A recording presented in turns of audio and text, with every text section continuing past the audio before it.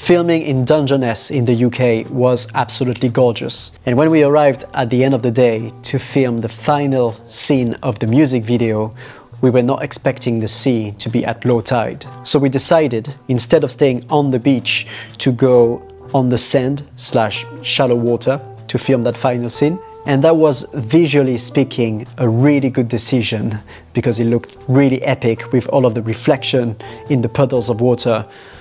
But it was also very, very muddy and the sand almost acted like quicksand. So it was extremely hard to move around to get some really cool dynamic shots and really hard for the musicians to perform properly. But we did it. We got some amazing shots from down there, wide shots to see a lot of context, some nice close-ups, a lot of slow motion shots on the instruments, as well as drone shots from above. And the results, I believe, looks quite epic. We had to act very, very quickly for that scene because we were filming in October in the UK and in October in the UK at sunset you lose light very, very quickly. The window that you have to film at golden hour is actually not an hour. And it's a wrap.